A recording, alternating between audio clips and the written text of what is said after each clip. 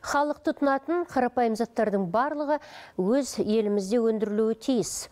Елімізде осындай мақсатқа негізделген жеңілдетілген бағдарлама басталды.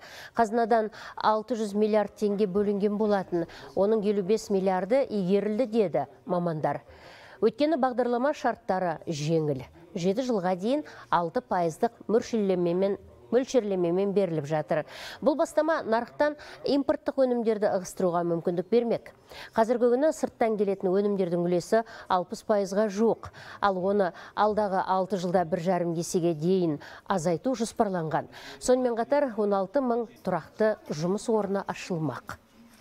бұл жерде ә, қазіргі таңда 400-ге тамақ 400-ге жуық тауар түрлері бар бұл жаңағы киім кешектер тамақ өндірісі болсын ауыл шаруашылығы өнеркәсіптері бар барлық салалар қарастырылған жалпы халық тұтынатын тауарларға.